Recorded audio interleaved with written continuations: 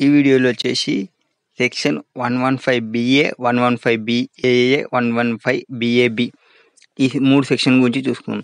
ఈ వీటి గురించి ఆల్రెడీ నేను సిరీస్ వన్లో చేశాను. అంటే ఈ ట్యాక్స్ రేట్స్ యాక్చువల్గా కంపెనీస్కి వచ్చేసి థర్టీ పర్సెంట్ ట్యాక్స్ రేట్ ఉంటుంది. కానీ ఈ సెక్షన్స్ అప్లికబుల్ చేసుకున్న వాళ్ళు అప్లై చేసుకున్న వాళ్ళు ట్యాక్స్ రేట్ తగ్గుతుంది. ఎలా? Twenty twenty five percent twenty two percent fifteen percent అలా. ఫస్ట్ వచ్చేసి సెక్షన్ బిఏ. ఇది వచ్చేసి సర్టెన్ మ్యానుఫ్యాక్చరింగ్ డొమెస్టిక్ కంపెనీ అయి ఉండాలా మ్యానుఫ్యాక్చరింగ్ కంపెనీ అయి ఉండాలా. తర్వాత వచ్చేసి ఫస్ట్ ఆఫ్ ఆల్ ఏదైనా సెక్షన్ చూసినప్పుడు ఇలా వచ్చింది అనుకోండి నాట్ విత్ స్టాండింగ్ అంటే యాక్ట్లో ఏవైనా సెక్షన్స్ ఉన్నాయి ఆ సెక్షన్స్కి సంబంధం లేకుండా అంటే ఎందుకంటే ఇట్లా యాక్చువల్గా కంపెనీస్కి థర్టీ పర్సెంట్ కదా ఆ థర్టీ పర్సెంట్తో నాకు సంబంధం లేదు. నేను ఈ రేట్ ప్రొవైడ్ చేస్తున్నా ఈ కండిషన్స్ ప్రొవైడ్ చేస్తున్నా అని చెప్పడం. నాట్ విత్ స్టాండింగ్ అంటే ఈ సెక్షన్ అప్లికబుల్ చేసుకుంటే ఈ సెక్షన్ వరకే ఆలోచించాలి. కాబట్టి అలా నాట్ విత్ స్టాండింగ్ అని వస్తుంది. ఇప్పుడు నెక్స్ట్ ఫస్ట్ వచ్చేసి ఈ సెక్షన్ అప్లికే చేసుకోవాలనుకుంటే ఆ కంపెనీ వచ్చేసి స్టార్ట్ అయ్యి ఎప్పుడు ఉండాలంటే on or after first day of April two thousand seventeen apply చే అప్లై చేసుకునే వాళ్ళకి ట్వంటీ ఫైవ్ పర్సెంట్ పడుతుంది. అంటే ఫైవ్ పర్సెంట్ సేవ్ అవుతుంది. దానికోసం కండిషన్స్ ఏమి? ఈ కండిషన్ సాటిస్ఫై చేసిన వాళ్ళకి మాత్రమే ఆ ట్వంటీ ఫైవ్ పర్సెంట్ లేదంటే థర్టీ పర్సెంట్ లేకి వెళ్ళిపోతుంది. కండిషన్స్ ఏమంటే ఫస్ట్ ఆఫ్ ఆల్ ఆ కంపెనీ వచ్చేసి సెటప్ వచ్చేసి registered first day of March two thousand sixteen first మార్చి లేదంటే దాని తర్వాత ఆ కంపెనీ రిజిస్టర్ చేసుకోవాలి. ఇక్కడ నేను ఏం చెప్పినాను అసెస్మెంట్ ఇయర్ అంటే సెవెంటీన్ ఎయిటీన్కి అప్లై చేసుకోవాలనుకుంటే సిక్స్టీన్లో రిజిస్టర్ చేసుకొని ఉండాలి. నెక్స్ట్ అదర్ దెన్ మ్యానుఫ్యాక్చరింగ్ కంపెనీకి ఈ సెక్షన్ అప్లికబుల్ కాదు. కంపల్సరీ మ్యానుఫ్యాక్చరింగ్ అండ్ ప్రొడక్షనే ఉండాలి నెక్స్ట్ ఈ సెక్షన్ అప్లికబుల్ అయిన వాళ్ళు ఈ డిడక్షన్స్ కొన్ని క్లెయిమ్ చేయకూడదు. ఏమంటే టెన్ ఏఏ థర్టీ టూ అంటే depreciation additional depreciation special depreciation thirty two AD thirty four AB ఇలా కొన్ని. తర్వాత income based deductions chapter six డిడక్షన్స్లో కొన్ని. ఎక్సెప్ట్ ఎయిటీ జేజేఏ ఈ సెషన్ గురించి నేను క్లియర్గా నెక్స్ట్ పీజీబీపీ సెషన్లో చెప్తా. నెక్స్ట్ ఏమన్నా క్యారీ ఫార్వర్డ్ డిడక్షన్స్ ఏమన్నా క్యారీ ఫార్వర్డ్ డిడక్షన్స్ ఏమన్నా ఉంటే ఇక్కడ క్లెయిమ్ చేయడానికి రాదు ఇప్పుడు. నెక్స్ట్ నెక్స్ట్ డిప్రిషియేషన్ ఏమన్నా ఉంటే ఆ డిప్రిషియేషన్ ఆల్రెడీ మొత్తం క్లియర్ చేసినట్టే. అంటే ఫర్దర్ డిడక్షన్ ఏమి ఇవ్వరు. నెక్స్ట్ ఈ సెషన్ని క్లెయిమ్ చేయాలనుకుంటే before section one thirty nine ప్రకారం రిటర్న్ ఫైల్ చేయాలి. అంటే within prescribed manner prescribed డేట్లోనే ఫైల్ చేయాలి. నెక్స్ట్ ఈ ఆప్షన్ వన్స్ వన్స్ ఆప్ చేసుకుంటే మళ్ళీ విత్డ్రాన్ చేసుకోవడానికి రాదు. విత్డ్రాన్ చేసుకోవడానికి రాకున్నప్పటికీ మనం section fifty one one five BA నుంచి వన్ వన్ బిఏఏ సెక్షన్లోకి అప్లికబుల్ కావాలనుకుంటే ఆ సెక్షన్ని లేకి చేంజ్ అయ్యి ఈ సెక్షన్ని విత్డ్రా చేయొచ్చు. అంతేకాని వేరే సెక్షన్లోకి తొందరగా వెళ్ళడానికి రాదు.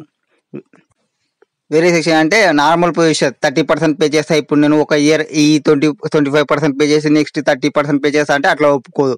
ఈ సెక్షన్ అప్లికబుల్ చేసుకుంటే ఈ సెక్షనే కంటిన్యూ కావాలి.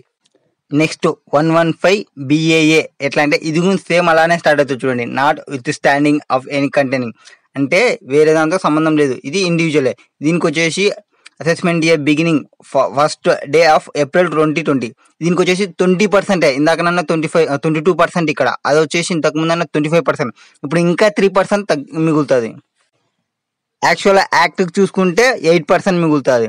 దీనికి వచ్చిన కండిషన్స్ ఏమంటే ఫస్ట్ ఆఫ్ ఆల్ ఏమంటే ఏమన్నా కండిషన్స్ కండిషన్ సాటిస్ఫై చేయకుంటే ఆ రిటర్న్ అనేది ఇన్వాలిడేట్ అవుతుంది రిటర్న్ ఇన్వాలిడేట్ అయ్యి యాక్చువల్ ప్రొవిజన్స్ ఎట్లా ఉంటో అట్లా వస్తుంది. అంటే ట్వంటీ టూ పర్సెంట్కి బదులు థర్టీ పర్సెంట్లోకి క్యాలిక్యులేట్ చేస్తాం.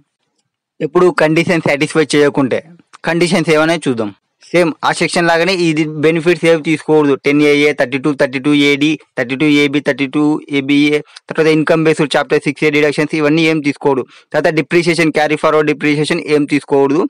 సెటప్ చేసుకోవడానికి రాదు. ఇందులో అన్అబ్జర్వ్ డిప్రిషియేషన్ ఉంటుంది కదా. అది కూడా సెటప్ చేసుకోవడానికి రాదు.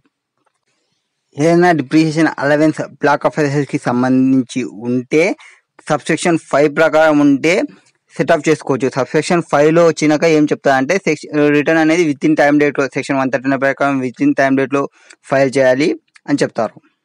ఇది కూడా సేమ్ ఒకసారి ఆఫ్ చేసుకుంటే మళ్ళీ విత్డ్రా చేసుకోవడానికి రాదు.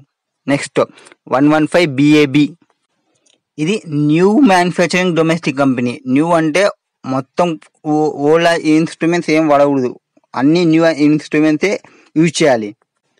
ఇక్కడ ఇంకా ఏమంటే ఫిఫ్టీన్ పర్సెంటే ఇంతకుముందు ట్వంటీ టూ పర్సెంట్ అంతకుముందు ట్వంటీ ఫైవ్ యాక్చువల్గా థర్టీ పర్సెంట్ కానీ ఇక్కడ వచ్చేసి fifteen percent means fifty percent fifty percent save అవుతుంది. ఫిఫ్టీన్ పర్సెంట్ మనం పే చేయాలనుకుంటే. ఇది కూడా ఏమంటే ఈ బెనిఫిట్ అనేది మ్యానుఫ్యాక్చరింగ్ వాళ్ళకి ప్రొడక్షన్ వాళ్ళకి మాత్రమే. మిగతా వాళ్ళకి ఎవరికి రాదు. వేరే డిడక్షన్స్ ఏమీ అలౌ చేయదు ఈ సెక్షన్ కూడా సేమ్. తర్వాత రిటర్న్ ఇన్వాలిడేట్ అయితే యాక్చువల్ ప్రో ప్రొవిజన్స్ ప్రకారం పే చేయాల్సి ఉంటుంది.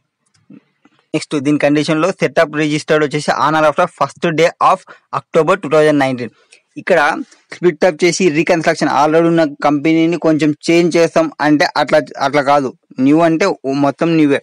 రీకన్స్ట్రక్షన్ చేసి దాన్ని వా- అదే కొత్త బిజినెస్ అని చెప్తే అలా కన్సిడర్ చేయము తర్వాత మిషనరీ ఆల్రెడీ యూజ్ చేసిన మిషనరీ కూడా అది తీసుకోడు. కొత్త మిషనరీ ఉండాలి. ఇన్స్టాలేషన్ ఒకవేళ ఏదైనా మిషనరీ సెకండ్ హ్యాండ్ మిషనరీ తీసుకున్నా కూడా అది న్యూ మిషనరీగా కన్సిడర్ చేయరు. ఒకవేళ ఆ మిషనరీ వచ్చేసి అవుట్ సైడ్ ఇండియా అయితే ఇప్పుడు ఇండియాలోకి తీసుకొస్తుంటే అప్పుడు ఫస్ట్ హ్యాండ్ మిషనరీగానే కన్సిడర్ చేస్తాము. డిడక్షన్ ప్రొవైడ్ చేస్తాం.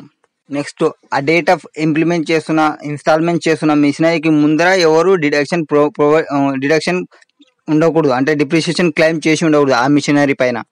నెక్స్ట్ ఇప్పుడు ఎగ్జాంపుల్ ఒక ఈ బిల్డింగ్ ఏదైనా బిల్డింగ్ ఉందనుకోండి ఓ హోటల్ బిల్డింగ్ ఉందనుకోండి ఇప్పుడు ఆ బిల్డింగ్ని తీసేసి వేరే కన్వెన్షన్ సెంటర్గా మారుతున్నాం అనుకోండి అప్- అట్లా కన్సిడర్ చేయము. ఎప్పుడు ఒకవేళ ఆ section eighty section eighty ID కింద డిడక్షన్ క్లెయిమ్ చేసి ఉంటే ఇక్కడ మ్యానుఫ్యాక్చరింగ్ అంటే మ్యానుఫ్యాక్చరింగ్ కానీ ప్రొడక్షన్ కానీ రీసెర్చ్ అండ్ డెవలప్మెంట్ అది కానీ. ఇవి ఈ ఐటమ్స్ని కన్సిడర్ చేయము మ్యానుఫ్యాక్చరింగ్గా ఏవి ఎండీల వల్ల సిఏలకి బీపీ వస్తుంది. ఏవి మైనింగ్ కానీ డెవలప్మెంట్ ఆఫ్ కంప్యూటర్ సాఫ్ట్వేర్ కానీ bottling of gas into cylinder కానీ printing of books or production of cinematography films conversion of marble blocks or similar items తర్వాత any other business deductions claiming ఏం చే deductions claiming ఏం చేయకూడదు depreciation claim ఏం చేయకూడదు next వచ్చేసి మెయిన్గా ఇప్పుడు యాక్చువల్గా థర్టీ పర్సెంట్ ఉంటే మనం తక్కువ రేట్లో క్లైమ్ చేస్తున్నాం కదా. ఒకవేళ ఏదైనా అసెసింగ్ ఆఫీసర్ వచ్చి మీరు ఎక్కువ ప్రాఫిట్ చూపిస్తున్నారో యాక్చువల్ ప్రాఫిట్స్ కంటే అంటే మీకు ఇంకో హోల్డింగ్ కంపెనీ సబ్సిడరీ కంపెనీ అనుకోండి సబ్సిడరీ కంపెనీ నుంచి ఇన్కమ్ ఇక్కడ సబ్సిడరీ హోల్డింగ్ కంపెనీ నుంచి సబ్సిడరీ కంపెనీలకి ఇన్కమ్ జనరేట్ చేసి ఈ సబ్సిడరీలో వచ్చేసి ఈ సెక్షన్స్ ఆఫ్ చేసుకొని తక్కువ రేట్లో ట్యాక్స్ పే చేస్తున్నట్టు అసెసింగ్ ఆఫీసర్ కనుక్కుంటే అసెసింగ్ ఆఫీసర్ యాక్చువల్ ట్యాక్స్ రేట్స్ని వేస్తాడు. Thank you for subscribe and like మీ ఇష్టం. బట్ వీడియో నచ్చితే నా కోసం మీ ఫ్రెండ్స్కి షేర్ చేయండి. This is just for knowledge sharing